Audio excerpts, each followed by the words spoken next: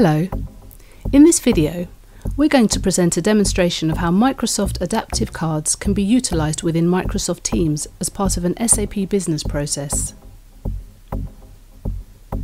To build this demonstration, we have used Arch's product suite, specifically Varo and Flow. We're going to see a vacation request process, but of course it doesn't matter what the process is. We're showing the technology possibility, not a solution for vacation requests.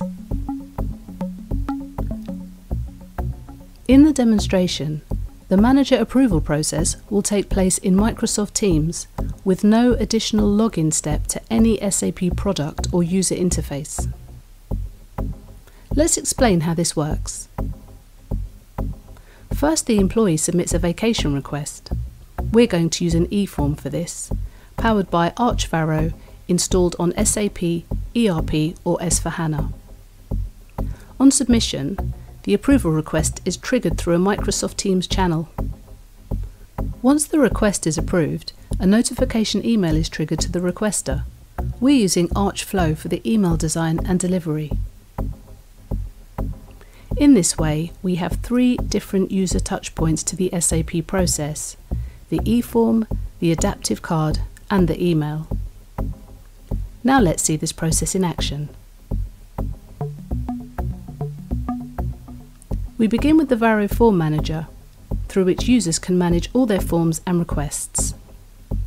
We open the vacation request form, then we select some dates and submit the request. This creates a document in the SAP backend system and triggers the next step of the process, which is the adaptive card.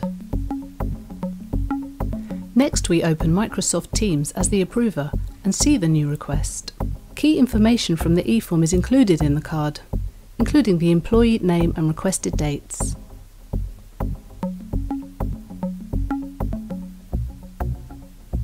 There's an option to approve or reject. When you choose an action, you can add a comment, and of course that would be mandatory if we were to reject. In this scenario, we add a comment and approve. We see that once this is submitted, we get a notification back to the approver within the card. Now we go to the email client of the requester, in this case Microsoft Outlook, and we see the new email notification arrive. The comment added by the approver is included in the notification email.